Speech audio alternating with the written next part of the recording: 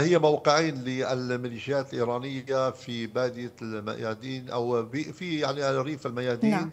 والقورية أدت لمقتل أربعة من العناصر السوريين العاملين مع القوات الإيرانية طبعا الغارات جاءت أن كان هناك محاولة لحقل العمر النفطي يعتبر أكبر قاعدة أمريكية في سوريا من قبل هذه المجموعات. آه، آه، ويعني بطائرة مسيرة وصاروخ جرى تدمير المسيرة من قبل التحالف الدولي وسقط الصاروخ في منطقة بعيدة عن قاعدة حقل العمر النفطي. آه، ولكن دعينا نتحدث بواقعية بأن الآن الولايات المتحدة الأمريكية تعلم بأن إيران تمر في مأزق في منطقة غرب نهر الفرات شرق في محافظة دير الزور نتيجة التوترات الموجودة في المنطقة نعم نتيجة ال- الاشتباكات العشائرية آه، وهي تريد أن آه، تقضي على النفوذ الإيراني مهم. في مناطق غرب غرب الفرات لذلك نش- نشاهد التصعيد الأمريكي الواضح والمعلن الآن ضد الميليشيات الموالية لإيران في الأراضي السورية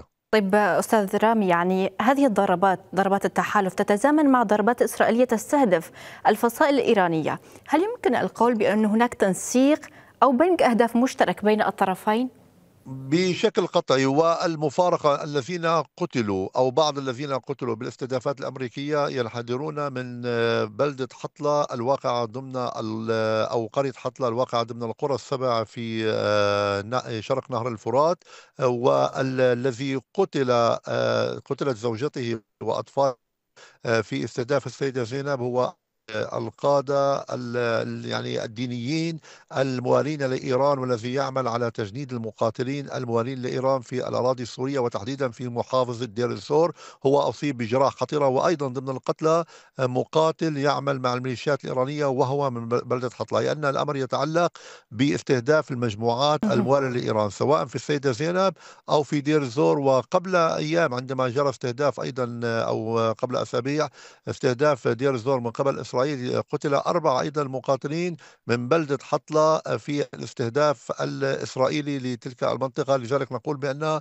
الأمور مرتبطة بمحاربة الوجود الإيراني داخل الأراضي يعني السورية القرار سيد رامي يعني القرار هل اتخذ بإنهاء التواجد الإيراني في سوريا نهائيا؟ نعم نعم بشكل قطعي بشكل قطعي. هو هذا. الأمر يتعلق إذا تحدثنا عن البوكمان تقع على الحدود السورية العراقية. نعم. والسيدة زينب في جنوب دمشق يتعلق بإنهاء الوجود الإيراني داخل الأراضي السورية طيب بعد هذه الضربات آه، أستاذ رامي حسب المعلومات المتوفرة لديكم هل هناك إعادة تموضع لهذه آه، الفصائل الإيرانية؟ هل هذه الضربات تؤثر عليها؟ هي في إعادة تموضع مستمر هي لا تتوقف عن التموضع لأنها تخشى الاستهدافات الأمريكية ونشاهد بمجرد أن يكون هناك استهداف أمريكي يكون هناك قتلى من قبل هذه الميليشيات العاملة مع إيران والذين هم غالبيتهم من السوريين الذين وضعوا في هذه المقرات بعد أن انحسر وجود أو تخفت العناصر الغير سورية التي كانت تشرف على الميليشيات الإيرانية في الأراضي السورية. أشكرك جزيل الشكر على هذه المداخلة. كنت معي من القاهرة رامي عبد الرحمن مدير المرصد السوري لحقوق الإنسان.